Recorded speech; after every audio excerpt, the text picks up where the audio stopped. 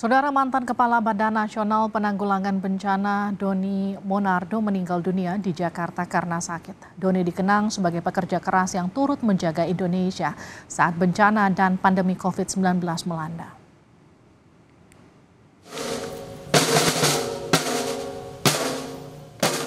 Taman Makam Pahlawan Kalibata menjadi tempat peristirahatan terakhir Letjen Purnawirawan Doni Monardo.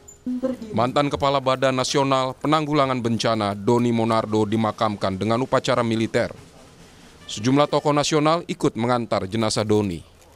Presiden Joko Widodo atas nama pribadi maupun pemerintah mengucapkan duka cita mendalam atas kepergian Doni. Uh, Pertama-tama saya ingin menyampaikan atas nama pribadi dan pemerintah menyampaikan ucapan berduka cita, mengucapkan bila sungkawa yang sedalam-dalamnya kepada keluarga besar Bapak Jenderal Doni Monardo. Semoga arwahnya diterima di sisi Allah SWT, diberikan tempat yang terbaik di sisinya, diampuni segala dosa-dosanya. Kepergian Doni Monardo juga menyisakan duka mendalam bagi keluarga, kerabat hingga para prajurit di Angkatan Darat. Panglima TNI Jenderal Agus Subianto mengenang kebersamaannya dengan Doni Monardo yang menjadi pijakan bagi karirnya di militer saat ini. Jadi beliau itu sosok prajurit yang jadi panutan adik-adiknya.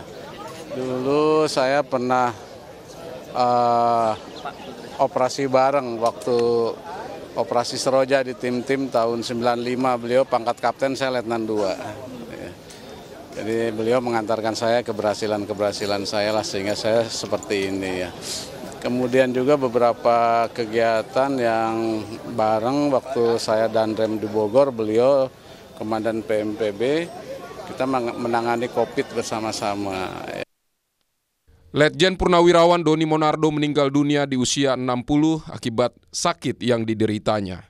Doni Monardo sempat tiga bulan menjalani perawatan di rumah sakit.